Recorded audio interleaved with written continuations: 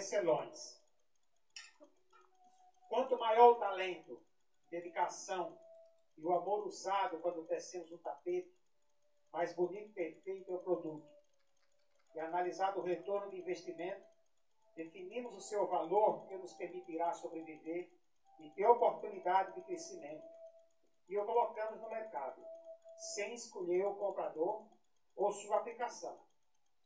As pessoas que amam as artes e ver como quadro vai usá-lo como arte, exibido nas paredes.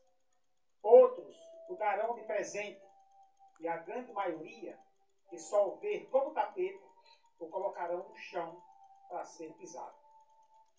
Neste caso, algumas pessoas sensíveis à arte nele contida tiram os calçados para evitar danos antes de pisá-lo.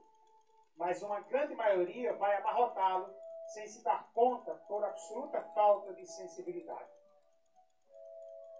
Apesar de termos criado o absoluto amor e dedicação, aceitamos tal fato sem nos ofendermos, pois ser pisado é o destino principal de nossa obra.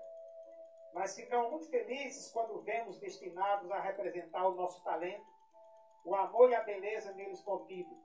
E não é porque alguns simplesmente não notam nossa dedicação que deixamos de fazê-lo com todo o amor e carinho.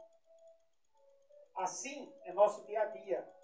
Tudo o que fazemos são tapetes.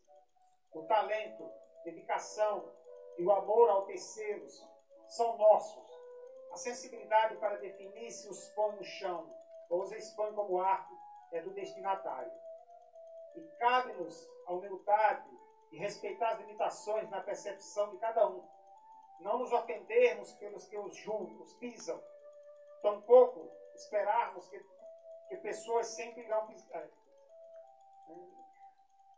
Tampouco esperar que sejam usados apenas como arte principalmente jamais deixarmos de tê-los com muito amor, pois algumas pessoas queirão pisar o que fazemos e se não nos permitirmos ofender por isso, ganhamos sempre pelo amor que somos capazes de transmitir o que fazemos.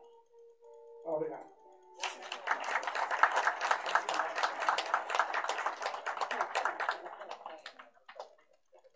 Já